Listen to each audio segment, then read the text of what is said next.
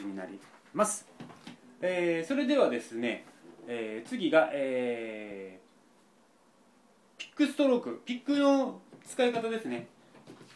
よいしょ。はい。ピックストロークですね。ダウンアップ。力を入れて握らない。ピックの使い方です。ピックの使い方はピックっていうのはいろいろあります。今こういう三角形もあるしティアドロップと言われる涙型ですね。でさらにもう少し小さいちち小さい小さいのもあります。これはあの使うのはご自由えっ、とお好みで自分の使いやすいのを使ってください。一応僕はまあ何でも使いますけど。で先ほど言ったようにピックを持ちます。ピックを持ちます。で親指と人差し指でこういう感じで持って決して力は入れない。先端はこういうふうに軽く押してあげると動いちゃう動いちゃうぐりぐり動いちゃう。こういう感じで持ちます。で弦に当てて弾くときに力を入れてるとこのままガチガチってなっちゃいます。力を抜くとこういうふうになります。ダウンの時はこういう角度。極端にやるとねアップの時はこういう角度。これを決してこう引っ掛けてやろうとすると引っかかってでうまくできません。滑らかに滑らかに。こういう感じこういう感じ。こういう感じ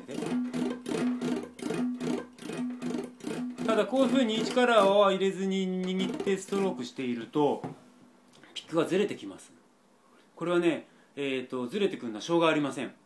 実は、えー、だだ速いピッキングやってる時っていうのはピックの当てる角度を多少ちょっとだけコントロールしながらこっちにずれてきたら例えばこっちにずれてきたら少しこっち側を当てて戻す。ということを実はやってます。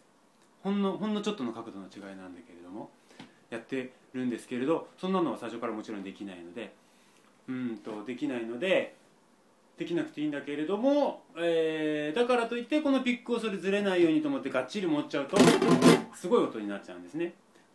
でもしもどうしても最初はやっぱり力を入れて持たないとうまくできないっていう時は、えー、とピック柔らかいピックを買ってください。使ってください。ソフトとかシンとかって書いてますけどもまあそれはあの楽器屋さんとかいて触ればすぐ分かりますけれどもこれはまあそんなにミディアムくらいかなこれは。あとこれはですねこれはイングヴェイ・マルムスティーンモデルこれもすごい硬いです。ハードです。これも完全にエレキロック用ですね。うん。あとこれはですねもう今あんまり売ってないですけどもこれはねべっこうピック。べっこうを使っててこれ実は1枚今だと多分1枚1000円ぐらいするんですよ。僕が使ってた頃で350円だったんですけど今もうべっこう取れなくなっちゃったんで今すごい高いです。というピックを使った。りこれは薄いけどもこれもやっぱり硬いです。この辺は人の好みで僕は硬いのが好きだったけれどもやっぱ最初はね柔らかい方が多分弾きやすいと思いますので。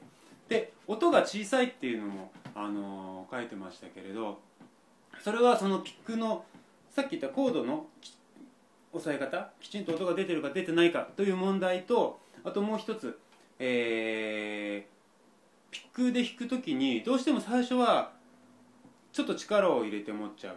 そうするとピックが動かない。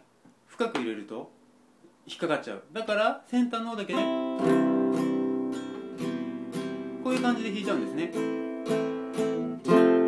これを、えー、ともう少し力を緩めてあるいは柔らかいピックを使って深く入れてあげる。深く。浅くじゃなくて深く入れて。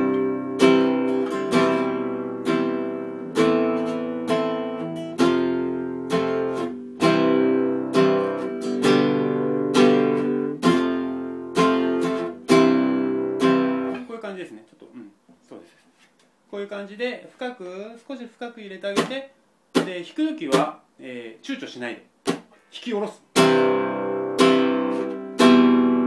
まあ、これちょっと今強すぎですけれども、えー、とそういうふうに弾くと、えーギターの音もだんだん大きくなってくると思います、えーちょっとこれを言っちゃうと元も子もないんだけどとにかく弾いて慣れていくしかないということとあとえっ、と右手も左手もそうなんですけどいかに力を抜いて最小限の力で弾けるか抑えれるか。これがあの上達の秘訣になってきます、えーそこをちょっと意識しながらやるだけでも変わってくると思いますので、えーまあそんな感じでまた頑張ってやってみてください、えー長くなったなりました、え3分割にしようかな、えということで今日のレッスンは終わりです。